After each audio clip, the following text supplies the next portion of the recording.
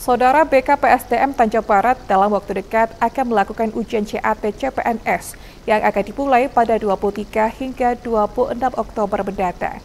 Dan tiga ujian CAT CPNS Tanjung Barat dipusatkan di salah satu hotel yang ada di Kota Jambi. Hal ini dibenarkan langsung oleh Kabit PSIK BKPSDM Tanjung Barat Siti Rahma Husin. Ada sebanyak 2.851 CPNS di Kabupaten Tanjung Jabung Barat yang akan mengikuti ujian CAT pada 23 Oktober mendatang. Jumlah tersebut telah dinyatakan lulus verifikasi berkas oleh BKPSDM Tanjung Barat. Dari penerimaan CPNS Tanjung Barat ini terdapat dua formasi, di antaranya formasi kesehatan sebanyak 150, formasi teknis 80 orang.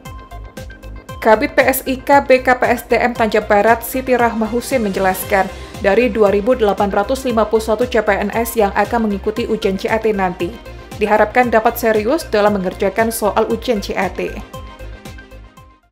sesuai dengan pengumuman yang telah kita sampaikan eh, calon apa, PNS, dalam seleksi PNS ini kita akan ujian CAT itu di tanggal 23 sampai dengan 26 Oktober di Hotel Cahaya Prima Jakarta. Kita mulainya hari Rabu itu di sesi keempat dan selesainya di hari Sabtu tanggal 26 Oktober. Ini kalau hingga saat ini jumlah itu sendiri berapa pelamar ya? Jumlah pelamar untuk CPNS. CPNS.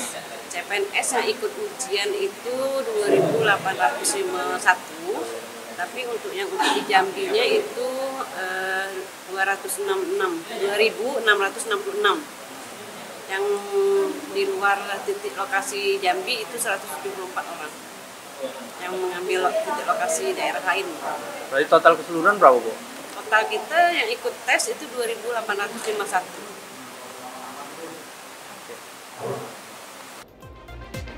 Dikatakan Siti Rahma bahwa ujian CAT dilakukan secara transparan dan hasil dapat dilihat langsung pada monitor komputer atau laptop.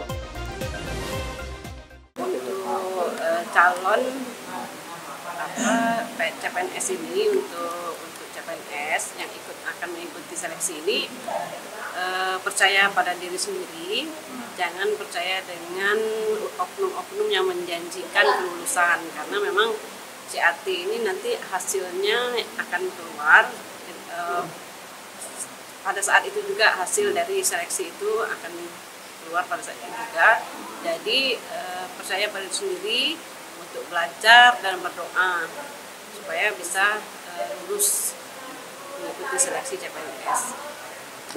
Surya Kurniawan, Cek TV melaporkan.